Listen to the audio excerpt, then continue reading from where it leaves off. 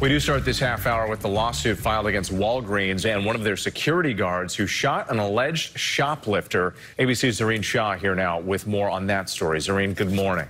Good morning, Whit. Yes, and in that lawsuit, the parents say Banko's apparent shoplifting was the spark and that the security guard, Anthony, was on edge. They are now suing and pushing for criminal charges.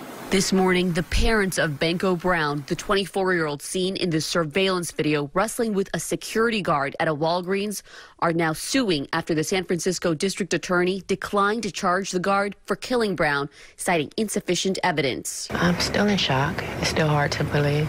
Brown's funeral service was held Thursday, one month after dying. According to police, the video shows the security guard, Michael Anthony, trying to stop the 24 year old from stealing.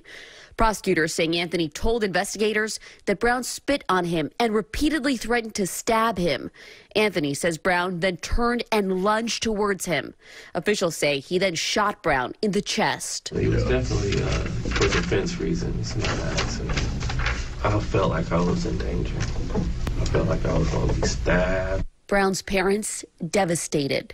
It's, it's very hard. It's just horrible. My the worst day of my life. In the lawsuit against Walgreens, their former security group, Kingdom Group, and the Guard, Brown's parents say Brown posed no reasonably perceived threat to anyone.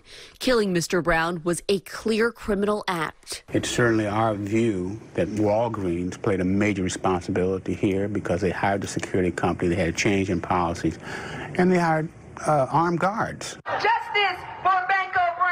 Many in the community expressing outrage, claiming justice has not been served.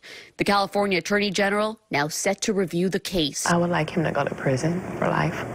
Walgreens is not commenting, and Kingdom Group Protective Services told us we are fully cooperating with law enforcement in the investigation, and they add that they are saddened by the loss but cannot comment any further. Gio? All right, Zohreen, thank you very much. Now to new way.